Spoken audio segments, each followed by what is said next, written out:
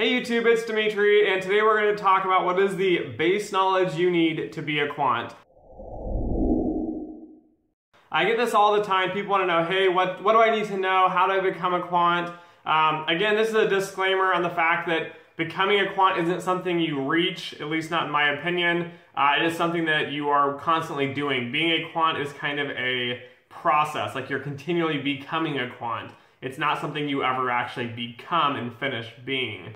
That being said, I've put off making this video for a long time. Uh, the reason is, is that there's no such thing as kind of a base knowledge. It's more or less someone's opinion on the foundation of what you need to be a quant.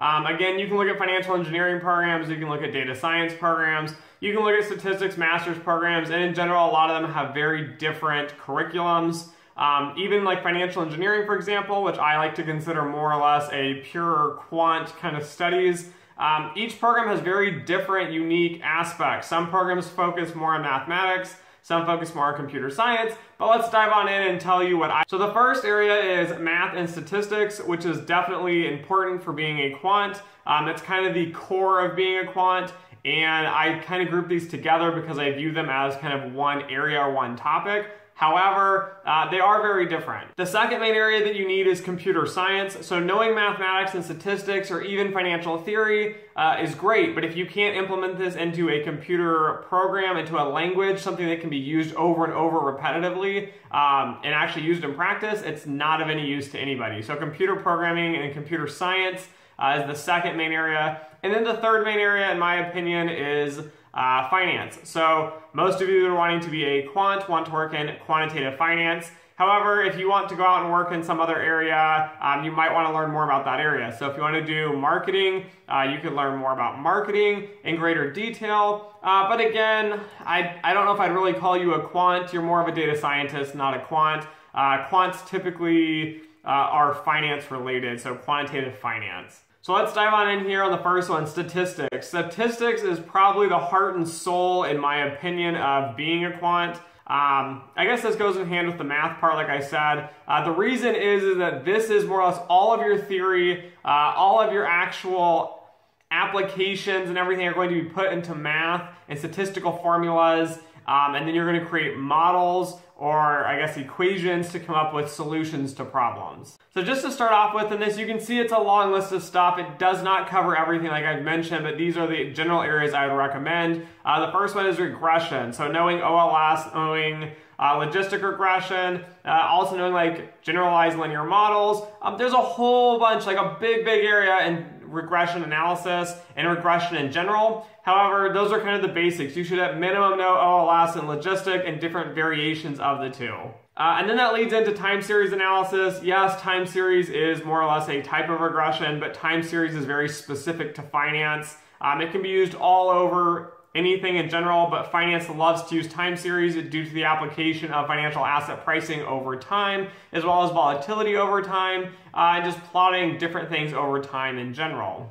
The last three is non-parametric, data cleaning and processing, and data exploration. All three of these are very, very crucial. You need to know how to clean data, how to get it into the right format that you need it in. Uh, make sure you're not modeling, I guess, more or less something with garbage inputs because you're going to get garbage outputs. And then data exploration, so knowing what your data is, how is it being used, is it appropriate, um, using the basically the core of the data, understanding how it's put together, and coming up with a theory.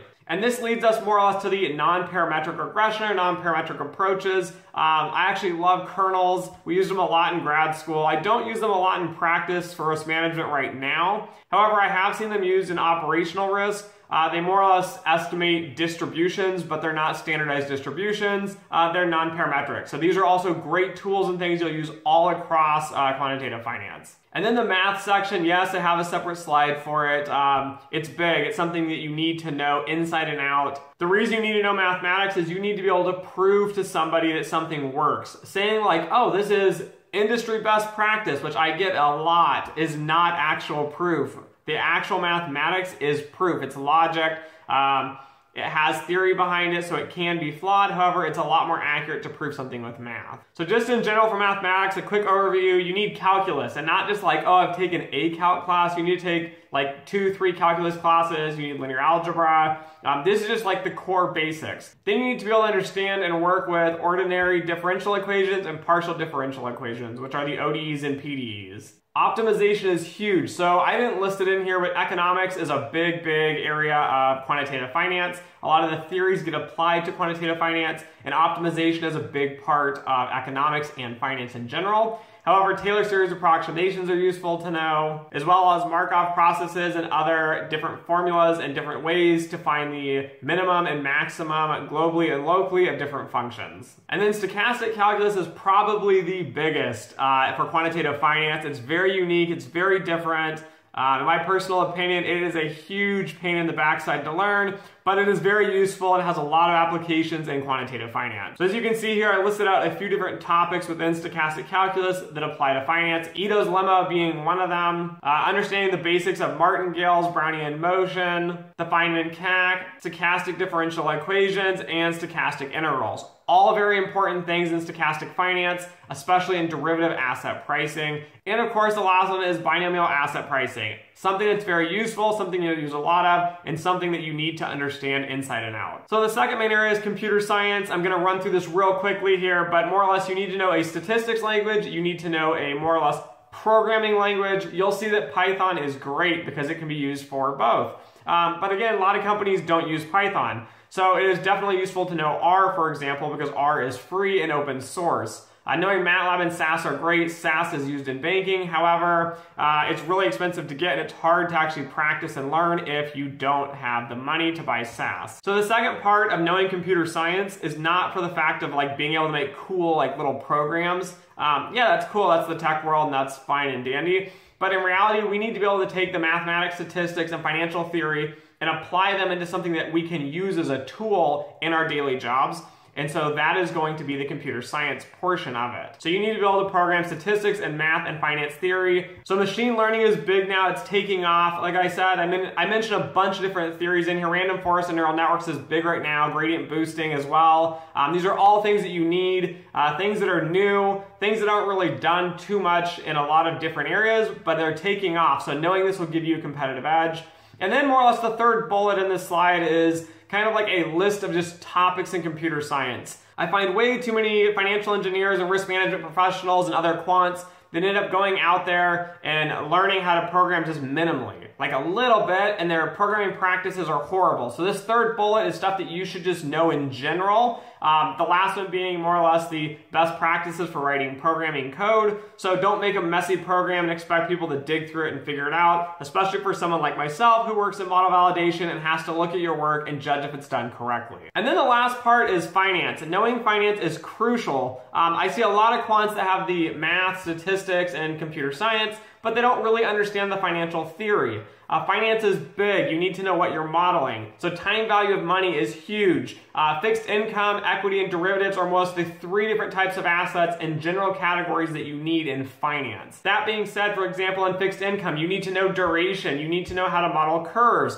Looking at convexity of curves for interest rates, for example, is very important. For derivatives, I don't mean like the general theory like, oh, this is a call option, you know, and this is what it is. No, you need to know the mathematics and the statistics, which we talked about but you need to know how the functions work. You need to know how these derivatives are used in practice and how financial practitioners are implementing these more or less to hedge risk um, to take speculative bets. You need to know more or less what they're doing with these instruments and how they actually use them in practice. And then that leads us more or less to like different areas of quantitative finance. So maybe you're gonna work on a asset management company. Uh, you need to know portfolio optimization. There are a variety of different areas that you can learn, that you can do, equations and theories. So on top of this, you need to know arbitrage theory. You need to know all the theories in finance behind these models and why you're implementing them, uh, why these models are more or less wrong in practice, and how do you modify those financial equations to make them more in alignment with reality without making them too complex. And of course, the final one in finance is risk management. This is a broad, broad area. And as you can see in everything more or less in these slides, everything ties together. You have to know all of it together to make it work.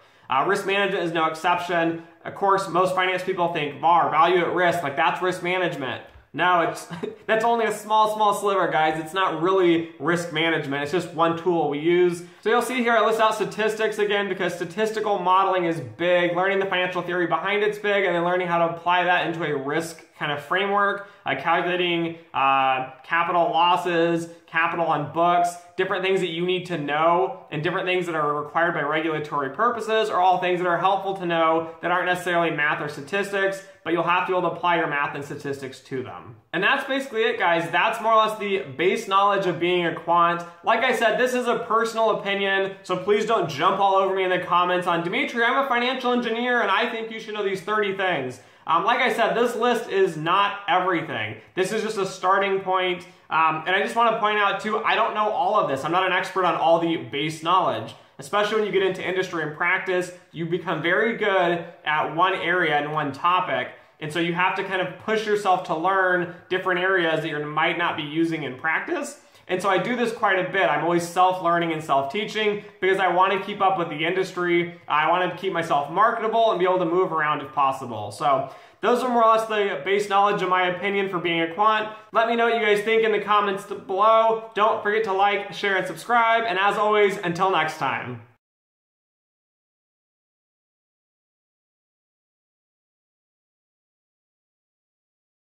Thanks for watching my video. If you find it helpful, please like, share, and subscribe.